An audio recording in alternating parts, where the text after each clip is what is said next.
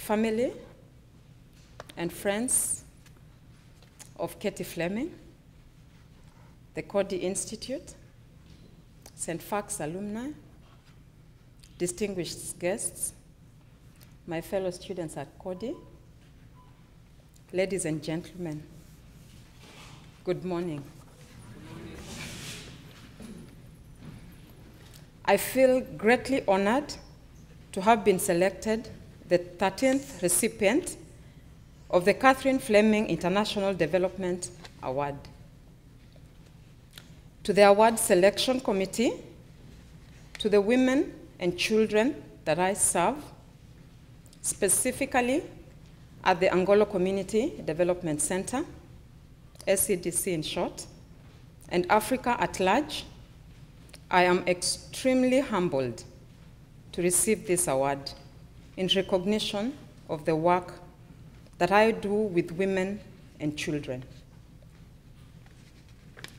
Katie may not be here to receive my African handshake and hug, but I know that her Holy Spirit of service to humanity is standing right here next to me. And to the Spirit, I say in my mother tongue, Ndahuyanza muno muno. I love you so much.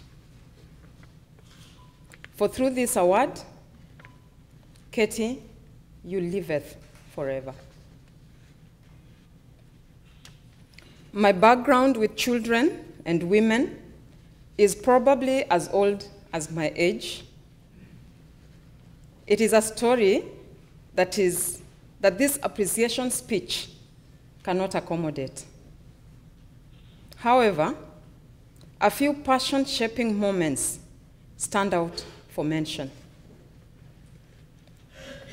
I am the third born girl in my family of six girls and three boys.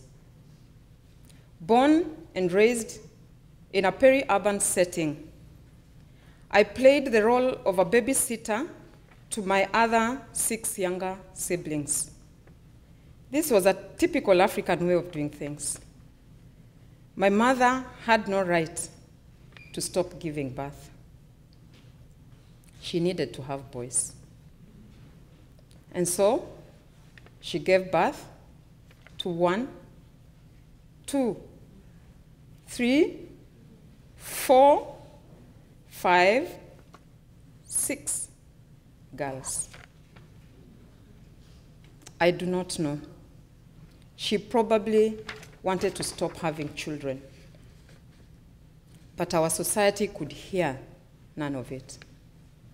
Boys had to be born. So she went on.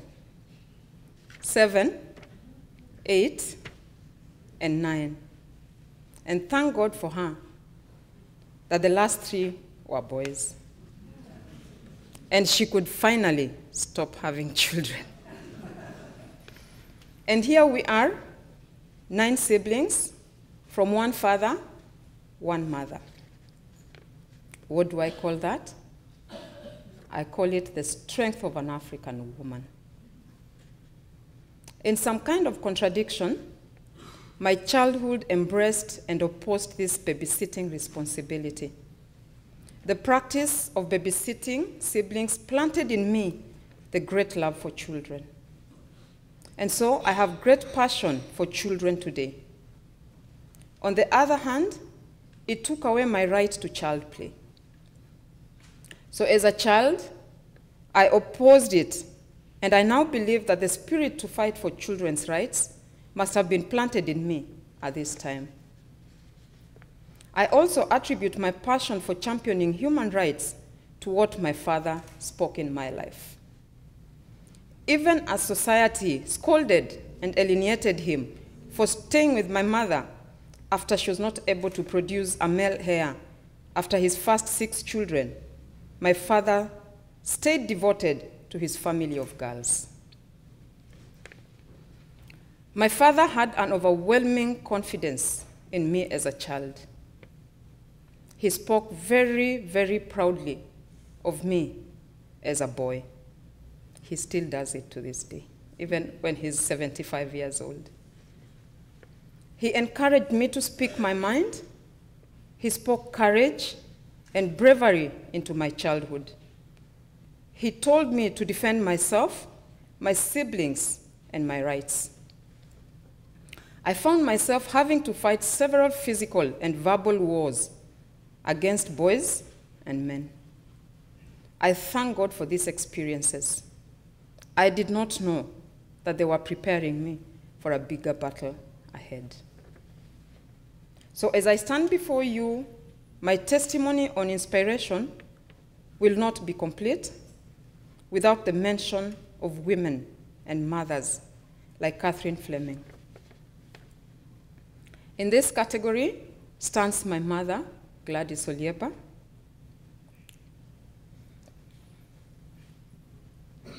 and my mother in law,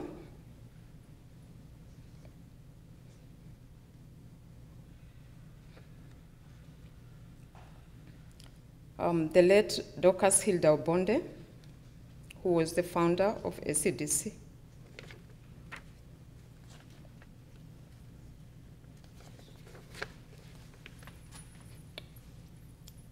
At more than 60 years old, and as a pastor leading a congregation in Nairobi, my mother is still organizing and mobilizing resources for women self empowerment.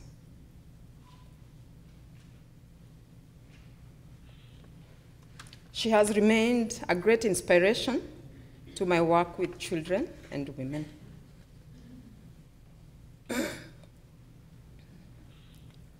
At 81 years old, just before she died, in the year 2004, my mother in law, Dorcas, called me to her home, her rural home, and holding my hand and looking straight into my eyes, she told me, I have recognized your gift of care and love for community work. Should I be called to heaven by the Lord? Wash my hands. Do not abandon the work of faith that I have started. You will have stripped me naked in my grave if you abandon my passion and calling on earth.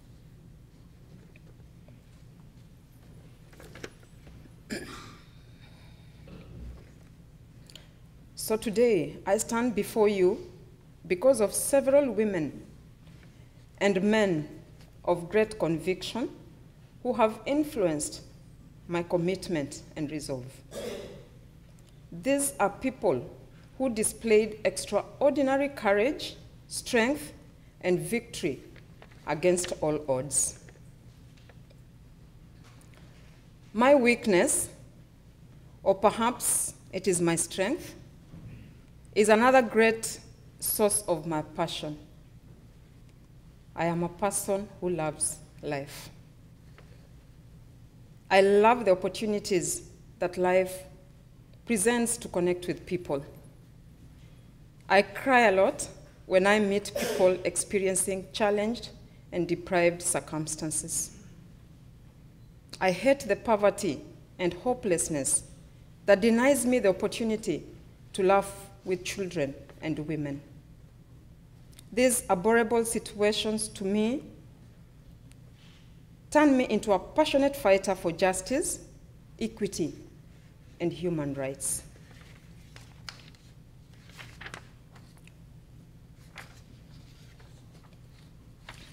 After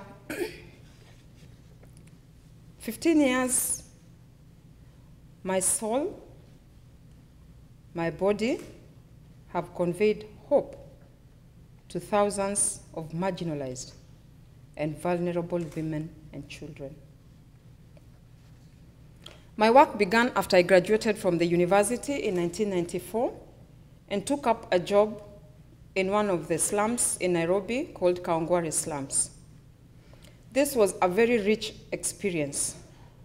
Today I know what it means for women and children to live in the slums, in the circumstances of poor shelter, poverty, disease, HIV AIDS, and open sewer environment.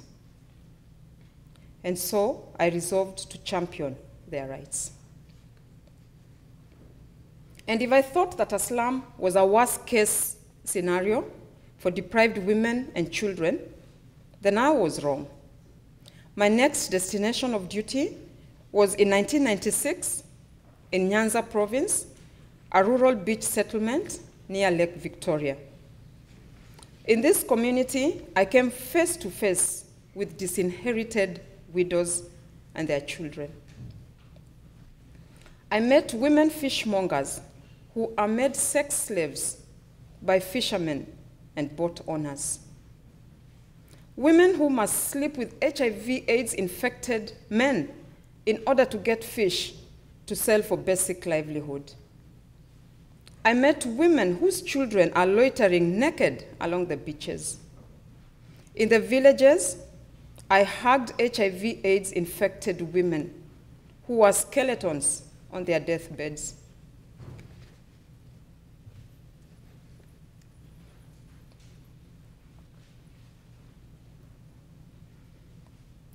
I prayed over their fatherless children.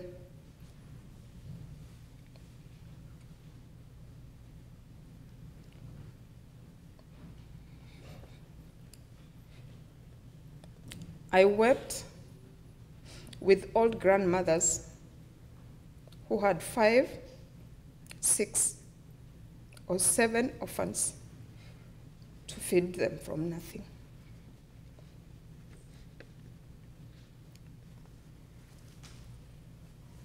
I sat and stretched my legs on the ground with emaciated widows whose property had been snatched by their in laws. I felt the pain inflicted on the African woman by retrogressive cultures, as if I was already married, yet I was not. And so I resolved to champion gender rights.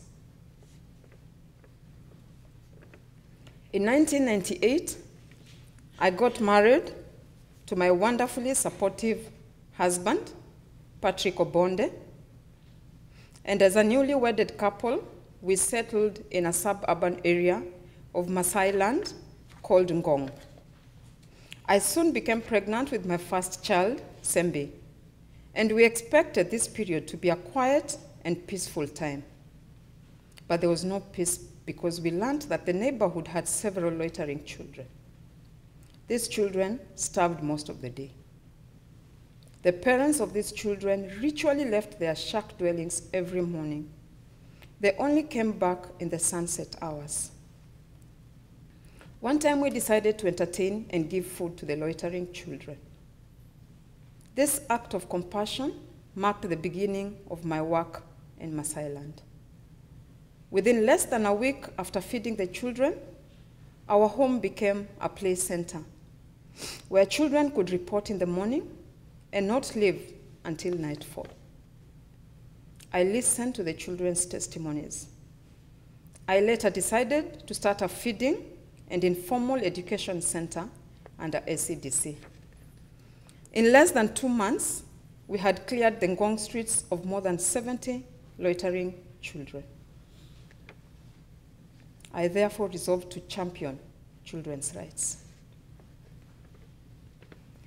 The news of my intervention in rehabilitating children spread to other parts of Maasai land.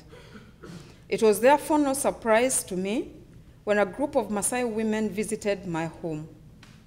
They invited me to visit them in their manyatas. These are dome shaped huts constructed by men using sticks and plastered with cow dung.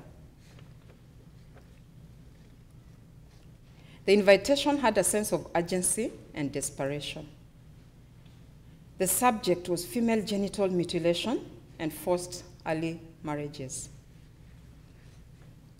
My visit to Maasai land opened my eyes to one of the most dehumanizing cultural abuses of human rights. In the Manyatas, I met women who were treated as children by their husbands. I met women who construct their own huts, but a woman who cannot have a say as to whom else is brought into that same hut as a second or third wife.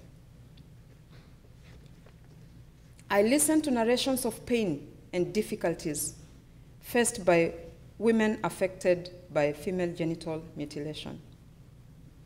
In Masai land, I talked to and met children who have given birth to children.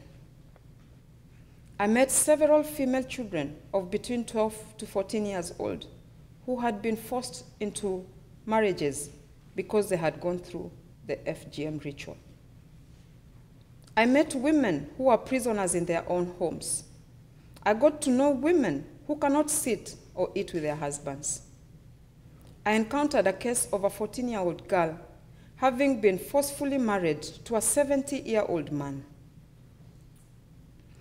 My visit of the Maasai Manyatas was devastating. And so, I resolved to champion the Maasai girl child and women's rights. This award that I received today is on behalf of these women. Women who are so resilient and have allowed themselves to be stretched and overstretched to the point of a breakdown. The girls who, at a tender age, have been made into wives, into mothers, as they are household heads, and at, at risk as they are exposed to HIV/AIDS at a very tender age. Society is driving them into prostitution, into child labor, and into crime. We have got to put a stop to this menace. This is what I will continue to engage in as the Katherine Fleming Award propels me to the next level. This award will not change who I am, but it will reveal who and what I am because I see my hopes, desires, and dreams being achieved through this award. Life is made up of small comings and goings. And for everything we take with us, there's something that we leave behind. Katie left behind a powerful legacy.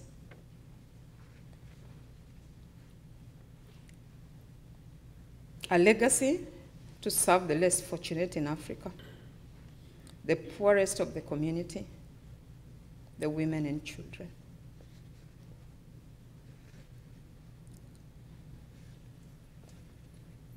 I never met Katie. However, in discerning Katie's spirit and seeing the outpouring of love being demonstrated by her family and friends, I feel I know Katie. In Katie, I see a woman who must have conquered the human ego. I discern a woman who chose to decrease herself and to increase others. I see a selfless daughter, wife, mother, and friend. A family kingdom builder. Katie must have believed in higher values values higher than manipulation, money, and material.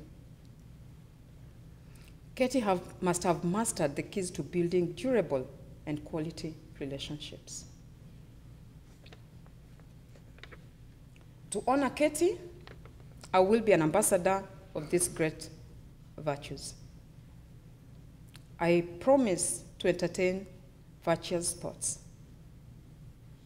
And if I will speak, of which I must speak, I shall speak truth in place of lies, love in place of hate, praise in place of criticism, virtue in place of vice, justice instead of injustice, honesty in place of dishonesty, good reports in place of negative reports. Change is slow, but I strongly believe it will eventually come. Even if it's not through me, we need to plant seeds of social justice. And today is about possibilities. as I honor Katie's work in Africa. The possibility that a girl can be born and grow up in safe neighborhoods with a loving family around her. That she can equally and equitably access education and all the other basic rights with no hindrances whatsoever. That she can fully participate and make decisions concerning her reproductive health, choose who and when to marry, and the number of children to have. And that she is respected as she is and is also involved in decision making at all levels. By receiving this award, I will always remain committed to Katie's spirit of love, care, and family. If I had an opportunity to write an epitaph on Katie's tombstone, I could have borrowed a quote from my husband. On the tomb, we would have written, Here is an honorable woman who believed in the greater value in we than I. May her spirit live forever. Thank you all. God bless you. Asante sana.